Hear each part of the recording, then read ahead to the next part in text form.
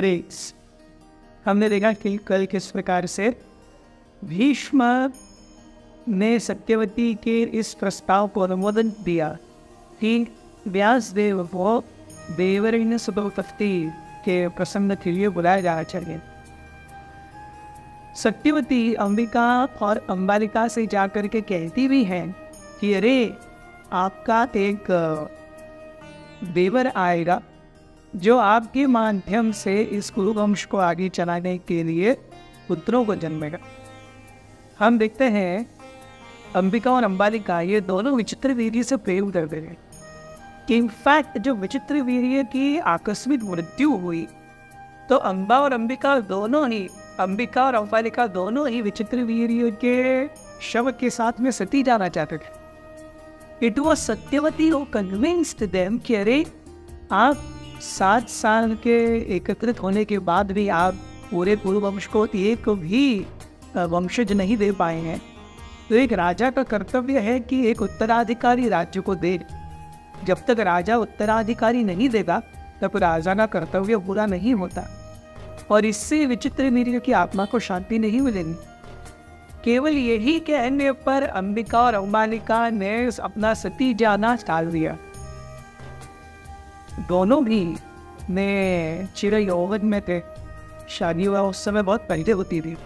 और ऐसा सात साल कोई बहुत ज़्यादा समय नहीं होता। So everyone is in the prime of their you अब देखते हैं, अंबिका विचार करने लगी यदि वो कौन होगा जो मेरे साथ आएगा? सत्यवती ने कहा था, केवल की विचित्र वीर के बड़े भाई आएँगे। अंबिका स्टार्टेड इमेजिनिंग कि भीष्म आएँगे। और वो समझने लगी कि भीष्म से ज़्यादा उपयुक्त पिता होने के लिए कौन व्यक्ति ज़्यादा उपयुक्त है हस्तिनापुर के राजा का, हस्तिनापुर के भाभी राजा का पिता भीष्म से ज़्यादा अच्छा कौन हो सकता है?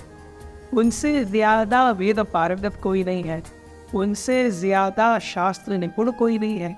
उनसे ज़्यादा युद्ध कला में प्रवीण कोई नहीं है। उनसे ज़्यादा विवेक में कोई बुद्धिशाली नहीं है। उनके मन के स्थैर्य को डगमगाने वाला कोई नहीं है। उनके शरीर की कांति के जैसा कोई नहीं। In every way Ambika thought Bhishma could be the just right person Ambika के मन में ये भी चल रहा था कि अरे विचित्र वीडियो को छोड़ करके मैं किसी और पर पुरुष के बारे में ऐसा कैसे सोच रही हूँ? लेकिन जब सत्यवती ने याद रखे, कहा कि अरे, आपका देवर आपके पास आएगा then just considering these words she was keeping herself calm.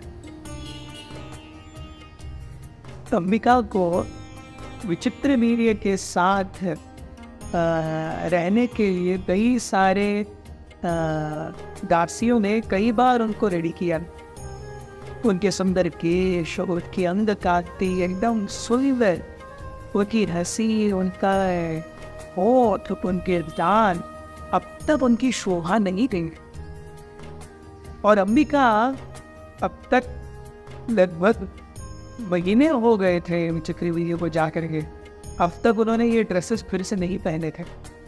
लेकिन जब सत्यवती ने कहा कि मेक श्योर कि जो कोई भी आपके सामने आएगा, आप उनकी अच्छे से सेवा करोगे। So Ambika was ready and within her mind, it was Bhishma. Ambika अपनी शैया पर लेट गई एंटिसिपेटिंग विथ हार्ट थ्रॉबिंग कि भीष्म आएँगे। उन्होंने अपनी सारी सहेलियों को और सखियों को भेज दिया क्योंकि अभी एक बातवास चाहिए और ऐसी आँखें बंद करते करते वो विचारों में मग्न थे तभी दरवाज़ा खुला। और दरवाज़ा खुलने के बाद वे एक साधु सामने खड़े। हैं जिन्होंने केवल एक लंगोट पहना हुआ है। लंबी सी दाढ़ी है, जटाएँ हैं। वहीं तक तो जिन्होंने स्नान नहीं किया है, उनका शरीर श्यामल वर्ण है। उनके दांत, उनके अंत कांति से थोड़े ही ज़्यादा सफ़ेद है, वो काले ही है। शरीर पर हृदय का मैल है, शरीर से वो आ रही है।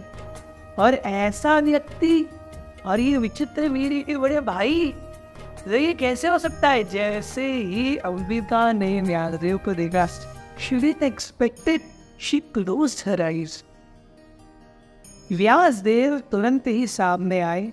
उन्होंने अंबिका के कपड़े निकाले और उन्होंने अपना वीर अंबिका के गर्भ में स्थापित कर दिया जब कार्य करने के बाद वेदन्यास बाहर निकल रहे थे, सत्यवती के पास गई। शी वॉज़ एंशियस क्या हुआ? सत्यवती को उन्होंने कहा कि जिस पुत्र को मैंने अंबिका के गर्भ में डाला है, महान बलशाली होगा, उसके अंदर दस हज़ार हाथियों का बल होगा। वो इतना निपुण होगा, शास्त्रों में वो वेद पारंगत भी होगा। लेकिन क्योंकि अंबिका ने एक साथ आते समय अपनी आँखें बंद कर ली थी, ये पुत्र अंधा उत्पन्न होगा। और अपनी विवेक बुद्धि का उपयोग सही समय पर नहीं कर पाएगा। थैंक यू वेरी मच अथ श्री महाभारत कथा।